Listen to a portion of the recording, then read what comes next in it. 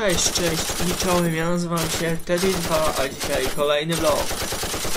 Dziś mianowicie opowiem o kreatywności. Definicja z książki brzmi tak. Pozwólcie, że sobie skorzystam ze ściągi.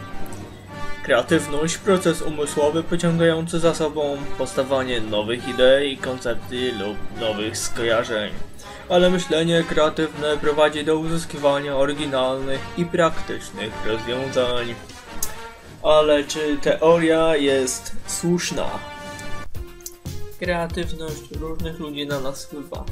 Edison wymyślił żarówkę i dziś możemy siedzieć po nocach i pykać na komputerze. Bracia Weirdys, którzy wymyślili i zbudowali samolot. Ale nie tylko takie wielkie na nas działają. Ktoś kiedyś wymyślił sobie taki kubek, taki kubek! Albo takie okulary!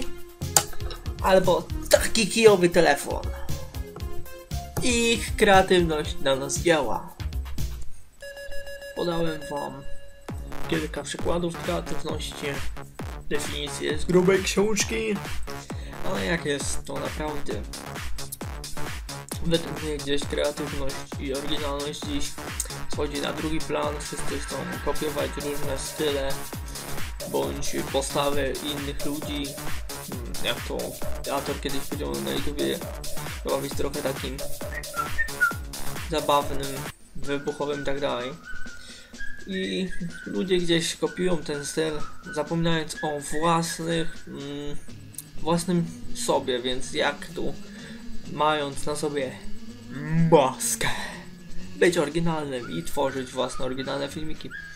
Ale właśnie odnośnie oryginalności i kreatywności, musimy próbować być kreatywni i mieć oryginalne pomysły, bądź to na filmikach na YouTubie, bądź nie wiem, w jakichś wierszach, yy, malarstwie, cokolwiek.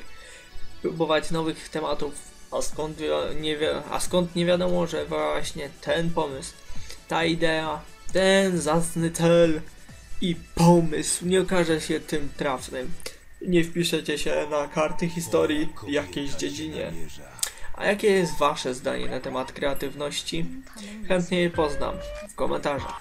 A temat na vlog dał Adam. Adam serdecznie dziękuję i pozdrawiam.